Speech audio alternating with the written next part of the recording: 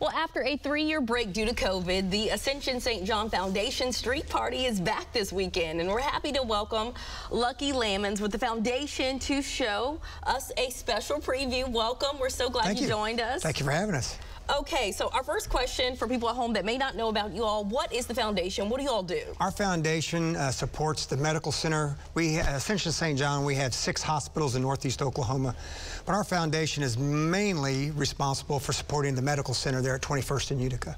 Okay, lovely. And of course, we are raising money for a special cause. What is this street party going to benefit? Break that down for us. This is our 27th year uh, of the street party. We we haven't had it for three years because of COVID. Right, uh, safety. But, safety. uh, but this year, our, our proceeds are going to go to our cardiovascular service line. We just opened up a, a brand new uh, ICU unit for, for heart and vascular.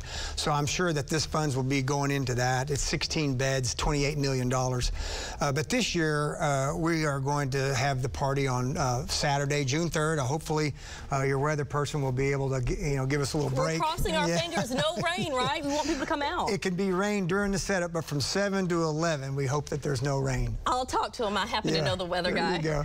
But uh, so we have a Zodiac. It's going to be a live band. Uh, we've got a little over 50 tables, about 35 restaurants. We'll have uh, five craft breweries, so we'll have a brew pub area. We'll have some um, uh, other things that are going on that people can take part in. But it's really a very nice event, and I go to a lot of these events as the president of a foundation. But what we ask is that you just show up in a summer attire. Uh, there's no speeches.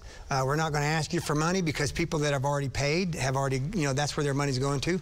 And you just look and you see your friends. And like we were talking about earlier, the hospital usually, about the only time you really want to be at a hospital is when your baby's being born. So what this does is this brings people to our campus uh, in a non-threatening and non-crisis area to see what's kind of going on. And so we really look forward to a good night. We still have tickets and tables available, so hit our website and we'll be able to make you happen. Lovely. Um, so for people that are coming out, what do they need to know if they're attending? Do they need to park in special spaces? What do they need to know? We have several parking spots. They'll just come to the campus. Uh, 19th Street will be blocked off. That's why it's called the street party.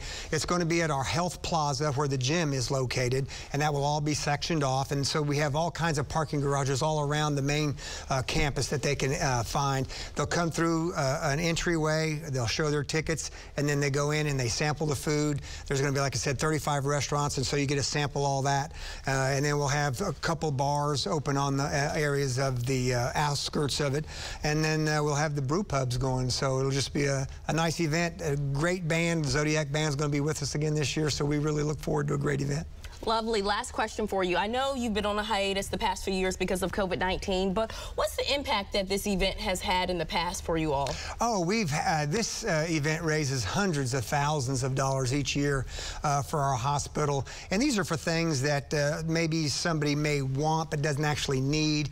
And so, you know, we are reflected of our community, and whatever our community needs is what we try to fulfill. So these extra dollars will go towards that to see whatever they need to have uh, that we don't have right now at the hospital. Perfect. Lucky Lamons, we're so grateful you, you joined us today. Well, coming up, we're going to head to the cooking